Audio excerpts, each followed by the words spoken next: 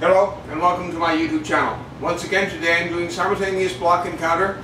This time, as yesterday, I'm doing a forehand hammer fist as the counter. Now, because I'm doing an inside block this way, both hands kind of start in this position, right here, drawing the punchy into my face. As it comes in, I block, and as I block, I turn to drive the hammer fist in. Now, at this point, I punch again, again, again, then I turn the foot, drive a knee into the groin, and step back, resetting on the other side. Again, from here, block and counter. Counter, counter, counter. Notice I hold the hand up as I drive the knee in. And then withdraw back.